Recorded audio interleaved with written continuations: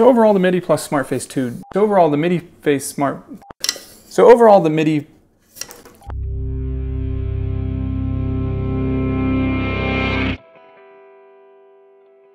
I want to start off by saying the intention of this video is to show that for about 30 bucks you can find an audio interface that will allow you to record your own music at home, provided you have a few things. Headphones, some sort of laptop or computer, a musical instrument. Now there's always going to be various cables and adapters that you'll need, and those are a couple bucks. I'm not really including those in this estimate. But I want to start off with that because I don't know if this actually works, and that's what we're going to get into in this video. So let's do it. So I have a buddy that hit me up a few weeks ago. He knows that I record music at home and he asked me, hey, if I wanted to start recording some guitar at my house, what do I need?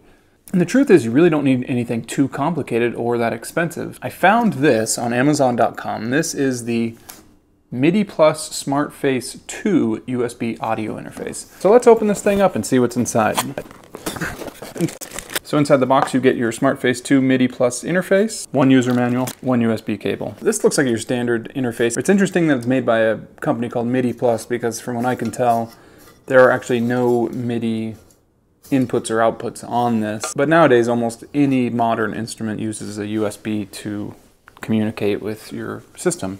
So we're going to overlook that for now, but you can find audio interfaces that have traditional MIDI out which is good if you run some of the older equipment. So this is a pretty basic audio interface here. You can see it's got two XLR slash quarter inch style inputs. It's got a volume control for each and then a master volume.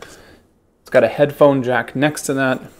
On the back side, we've got some line out and some line in connections there as well as a few on-off switches which control things like phantom power, uh, the monitor's on, stereo mono off. Actually, I think that's kind of interesting. I like that there's a stereo mono button because some of these don't have that and I find that mono mixing sometimes is very important to seeing how everything fits in a mix. And then of course it's got a USB jack to connect to your laptop.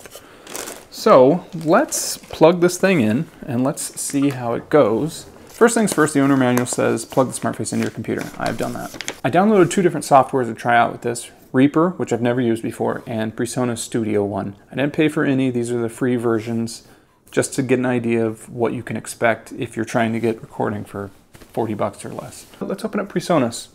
I've got this now to transfer the sound from this cable to the headphone jack, but it's still not going into the computer. So current update, I'm having a little bit of an issue with, I can get the sound to go into the MIDI Plus, I can hear it out the monitoring headphone jack. I cannot get any of the DAWs to receive that information. So despite this thing being plug and play, I am now downloading the Control Center app, despite this saying it was plug and play. After a bit of tinkering, I'm back. Remember that old phrase, see the forest for the trees? Well, that's kind of where I was at. I could not get the MIDI Plus SmartFace 2 to work on PreSonus Studio One, no matter how hard I tried. I downloaded apps, I created aggregate devices. Whatever I did, I could not get it to work. I opened up Reaper to see if maybe there was a different issue. Reaper had no problem recognizing it. It worked fine. I could record guitar. So for fun, I'm downloading Avid's free version of Pro Tools to see if that has any issues with the MIDI Plus SmartFace 2. And that's where I'm at now. Recording some audio potentially.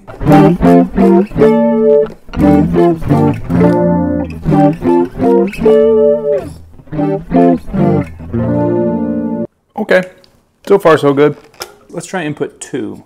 I've got this Korg synthesizer plugged up here to the MIDI face instrument, to the MIDI face instrument 2. I've got some stupid little pattern recorded on this Korg. It's using the MIDI and Pro Tools to transmit the data back to the synthesizer, which is then sending the audio into audio interface 2. And it comes up here on the interface. So that tells me it's working.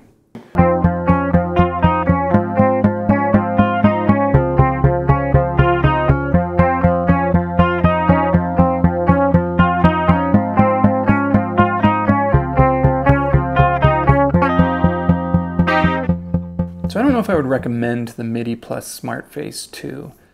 I messed around with it for about two or three hours just to get it to work with Pro Tools and Reaper, and I never got it to work on PreSonus Studio One. There's also not really much of an online support community for the SmartFace 2. The manual glosses over some of the major things like what if your computer doesn't recognize this device? Then what do you do? I don't know how many other people would have the patience to try and figure that out, especially if they don't have experience with digital audio workstations and dealing with audio interfaces. You know, I would splurge if you're really tight on money, maybe look at Reverb and see if you can get a used Focusrite Scarlett for 60 bucks or something like that.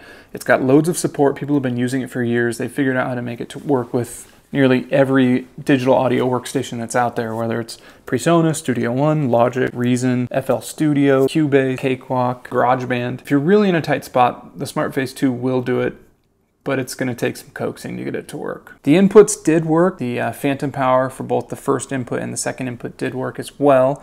And I actually did appreciate having the mono slash stereo button on the backside because I do think when you're mixing, having the option to listen to your entire mix in mono can actually make you a better mixer in the end. I don't think it would ever become the center point of any sort of mini home studio.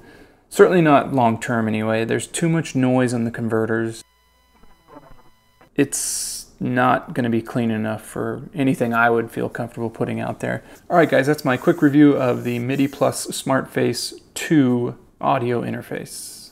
Next time.